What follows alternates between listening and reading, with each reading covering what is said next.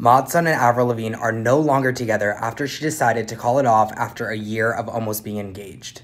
Sources close to the couple tell us they've been trying to make it work, being on and off for the last few months, but they finally decided to call it quits. At this time, it is unclear what led to the split, but we were told there was no cheating involved whatsoever. In case you missed it, Tyga and Avril were seen Sunday night at Nobu hanging out and hugging in the parking lot, but sources say there is nothing romantic going on and the two are just really good friends and have been for a while.